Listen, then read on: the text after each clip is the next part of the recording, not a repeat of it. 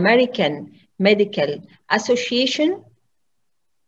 This is a disease which is an impairment of the normal functioning of some aspects of the body, and this is clear in obesity, where we can find appetite dysregulation, abnormal energy ba balance, endocrinal dysfunction, infertility sometimes, uh, sometimes, and uh, most of the time there is dyslipidemia. Again, the American uh, Medical uh, Association said that um, the criteria of a disease involves characteristic signs or symptoms, and this is shown again in obesity with increased body fat, and symptoms associated with increased body fat lead, lead to joint pains, immobility, sleep apnea, and other complications like uh, depression, so, uh, uh, low so, self-esteem, and other um, metabolic and psychological complications. Um, also, a disease is characterized by uh, making a harm or morbidity, and this is again shown in obesity, uh, which leads usually to type 2 diabetes, cardiovascular disease, cancer, osteoporosis, and polycystic ovary syndrome. Obesity is a complex and multifactorial disease characterized by usually increased energy intake and uh, less energy expenditure. So the balance between intake and expenditure is lost. There is increased intake and reduced energy expenditure. And this is shown by signals from the adipose tissue, the pancreas, and the gut, leading to increased food intake. And environmental factors, including inactive lifestyle, smoking cessation, psychological factors. Sometimes there is genetic uh, background or genetic disease or taking medications leading to obesity and another input by the hedonic system or hedonic input where there is increased palatability or pleasure to certain high caloric uh, diets just for uh, pleasure, even in the absence of hunger sensation. Obesity is associated with uh, too many complications, up to 200 known complication or a disease associated with uh, obesity. These are either metabolic, mechanical, or mental, the metabolic uh, complications and comorbidities are the presence of certain cancers increased in case of obesity like uterine cancer, ovarian cancer, renal cell carcinoma, GIT carcinoma, breast carcinoma. Uh, many types of carcinoma are linked to obesity.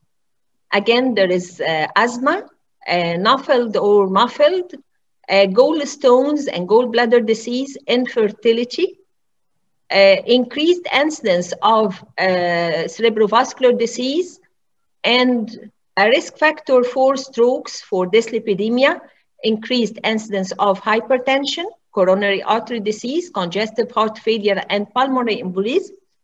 Other groups of metabolic disorder include gout and thrombosis, and of course, a definite relation with type 2 diabetes and pre-diabetes.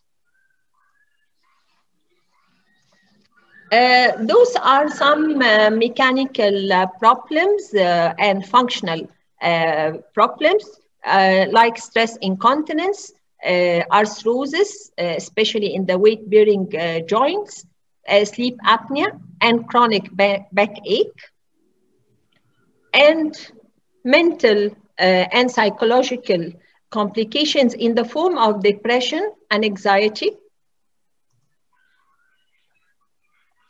Uh, what's the role of GLP-1 in appetite regulation? And we know that we have an endogenous GLP-1 uh, and uh, there is a homeostatic versus hedonic regulation of appetite, we, we need to understand both of them. The homeostatic regulation uh, acting to maintain body weight by regulation uh, by uh, peptide hormones who can induce hunger or satiety. And of course, there is changes in energy expenditure according to the lifestyle, whether physical um, lifestyle, uh, physical work, or uh, sedentary lifestyle. The hedonic regulation is uh, a form of reward uh, or survival behavior, for example, uh, eating or uh, some pleasures like uh, uh, they operate even in the presence of satiety sig signals. If the person is not hungry, he can go for hedonic um, eating for just pleasure. It can lead to food consumption beyond homeostatic needs and it is linked to high calorie foods, um, especially sugary foods, uh, dessert or uh, fatty uh, foods. This is the endogenous GLP-1 uh, and GLP-1 is a peptide the formed of 31 amino acids and it is a member of the incretin family. But the GLP-1, the endogenous GLP-1 is rapidly uh, degraded by uh, DPP-4 inhibitor dipeptidyl peptidase, uh, sorry, dipeptidyl peptidase enzyme uh, during one to two minutes after it is secreted. And uh, it is secreted primarily from the L cells of the gut but also the brain contains receptors for GLP uh, 1 and um, uh, secrete GLP-1. GLP-1, the endogenous one, is uh, released in response to food intake. According to this figure, we can uh, find that it is secreted in relation to meals. Um, the three uh, main meals, it is secreted and it has a physiological action, but the physiological uh, level reduce a little bit hunger sensation in individuals with obesity. Now we come to an exogenous GLP-1 receptor agonist, which is liraglutide 3 milligram, and um, it is an analog to uh, human GLP-1 receptor agonist. Liraglutide is used once per day. And like we said, it's a human GLP-1 analog. Uh, and it has 97% amino acid homology to human GLP-1. Um, uh, just um, change in the uh, fatty acid leading to improved pharmacokinetics improving binding and prolonging the action of uh, this GLP-1 receptor agonist. The half-life becomes 13 hour and it is resistant to DPP-4 uh, degradation. The liraglutide uh, increases satiety and reduces hunger through neurons in the arcuate nucleus and the liraglutide affect GLP-1 receptor agonist present on the GABA and also on POMC nucleus, leading to increased satiety, and on the arcuate nucleus, leading to reduction of hunger sensation. This is the effect of exogenous liraglutide 3 milligram affecting all dimensions of appetite, like we see here. It improves satiety, it uh, leads to sensation of fullness, it reduces hunger, and there is reduction in uh, prospective food consumption. This is a mechanism of action for uh, weight loss of liraglutide leading to loss of body fat mass reduced energy intake. There is small increase in resting metabolic rate and there is reduced food craving and improvement uh, of the control of eating. Um, the liraglutide 3 milligram was studied uh, extensively on 6,000 cases, which uh, were studied in the SCALE program. And the SCALE program is the satiety and the clinical adiposity liraglutide evidence. Like we said, uh, 6,600 subjects were enrolled. And we have now uh, different phases of the trial. And this uh, trial or these uh, cases studied, the more than 6,000 cases, showed uh, efficacy. And uh, one of the scale program was uh, called Scale Obesity and Prediabetes on more than 3,000 cases, which showed uh, marvelous effects on body weight reduction. There was reduction of 8% um, in the body weight after one year also, there was reduction of 80% of the risk of type 2 diabetes over three years in those patients with prediabetes. 70% of the subjects uh, were early responders based on the EMA rules. The EMA rules um, uh, determined that a loss of 5% of the body weight in the first three months this happened in 67% uh, of cases of liraglutide uh, versus 22% uh, in the placebo group, which was not actually placebo, but uh, it was diet and exercise uh, given to all the 6,000 cases. This is a change in body weight uh, by the end of the first year, there was 11% reduction in the body weight in the group receiving uh, liraglutide versus 3.8% uh, body weight reduction in the group received uh, placebo or the comparator group. Uh, when we see this uh, slide, we find that 88% of the patients or they're not actually patients, but they lost more than 5% of body weight, but 55% of the early responders achieved more than 10% of weight loss uh, at the end of one year. More than 15% of the body weight was lost in 24% of the cases. Then we know now that liraglutide is uh, successful in weight reduction, 3 milligram liraglutide, but what's beyond weight loss in liraglutide 3 milligram? Uh, there was 80% uh, relative risk reduction in developing uh, type 2 diabetes and reduction of the incidence of new cases of type 2 diabetes. and the group received liraglutide 3 milligram. Uh, in, the, in this group, they needed 2.7 years more to develop type 2 diabetes compared with the group who didn't receive liraglutide 3 milligram.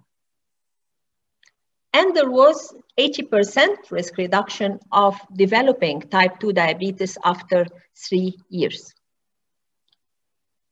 60% uh, of the subjects uh, of patients with prediabetes regressed to normoglycemia over time. And this effect uh, was shown even after 28 uh, weeks from the beginning. We uh, could find that 70% of cases uh, gained normoglycemia after 28 weeks. There was other uh, beneficial actions on reduction of blood pressure. On the systolic blood pressure, uh, there was a reduction of 4.2 millimeter mercury. On the mean diastolic blood pressure, there was reduction of 2.6 millimeter mercury. This was the improvements in lipid profile. There was reduction in total cholesterol by 3.1%, uh, in LDL cholesterol 3%, improvement in HDL cholesterol 2.3%, very low density uh, lipoprotein uh, cholesterol uh, reduced by 13%, reduction of non-HDL cholesterol again, and reduction of triglycerides 13%. There was also improvement in cardiovascular biomarkers in the form of reduction of 37 milligram of uh, high sensitive C-reactive protein. Um, this uh, was uh, shown uh, uh, in, in, the results here are very remarkable. Uh, in the scale program, there was 58% relative risk reduction in time to first MACE for the group receiving liraglutide 3 milligram versus all uh, comparators. And we can remember in the LEADER trial that uh, the primary outcome of LEADER trial showed that there was reduction 13% of cardiovascular deaths, non-fatal myocardial infarction or non-fatal stroke. Then the GLP-1 receptor agonists have multifactorial effect. Uh, they may benefit several disease states uh, on uh, the NASH, they improve the inflammation in the liver, they reduce weight and reduce lipid and reduce uh, glucose level. On, on obesity, they uh, reduce fat intake, improvement in appetite, reduction of appetite, reduction of weight. On kidney disease, reduction of inflammation, and reduction of systolic blood pressure. On cardiovascular disease, reduction of inflammation, reduction of dyslipidemia, improvement of systolic blood pressure, but there was increase in heart rate. On diabetes, uh, improvement in insulin secretion, improvement in beta cell function, reduction of glucagon secretion, and uh, reduction of gastric emptying or delaying gastric emptying. What about the safety of the liraglutide because it's now uh, 3 milligram instead of the previous concentration of 1.8 milligram? Uh, so the scale program showed safety uh, parameters for gastrointestinal adverse events. Uh, almost all events were mild or moderate. And there was zero uh, event of uh, medullary thyroid carcinoma and there was no neuropsychiatric uh, complications or side effects of liraglutide 3 milligram. And the cases who received liraglutide, uh, any uh, psychological or neurological uh, complication or um, side effect was similar versus placebo. Uh, these are the cases of uh, nausea. At the beginning, there was, uh, by the week four, there was 24% uh, nausea. Uh, at week eight, there was improvement and only 14% complained of nausea. But by the end of the first year, the nausea percentage or prevalence reduced to 5%. And this nausea can be uh, improved when giving some instruction to the patient to eat less and to eat slower and to drink plenty of water.